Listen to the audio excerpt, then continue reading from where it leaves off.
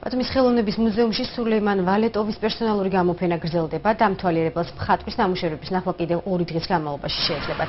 მუზეუმის საგამოფენო დარბაზში ათობით ტილოზე მხატვრის ზეთით შესრულებული აჭარის ბუნება, ყაზახეთის პეიზაჟები, პორტრეტები და ნატურმორტები აქვს წარმოდგენილი.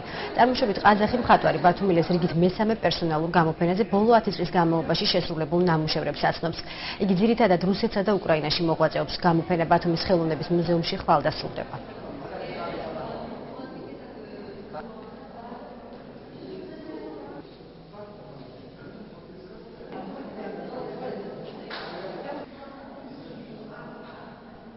აი არის ჩემი მესამე გამოფენა. ორი გამოფენა მქონდა როცა სწავლობდი ტექნიკუმში. მე ძალიან დაუთწებული ვარ ჩვენი ბუნები, ჩვენი ჩვენი ბუნება ძალიან ძალიან ლამაზი. მე ძალიან გვექნებს ვიყავი, მაგრამ ჩვენაერი ბუნება სადმე აღარ არსებობს.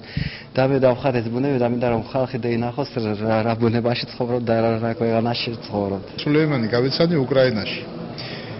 და სამწუხაროდ ოს რატომ სამწუხაროდ, მაგრამ იქ უფრო პოპულარულია რატომღაც. იმიტომ რომ იქ იცნობენ და აქ ჯერ არ იცნობენ, მაგრამ იმედია მალე გაიცნონ საქართველოს. აქ დაიწყო უფრო პეიზაჟების ხატვა ახლა.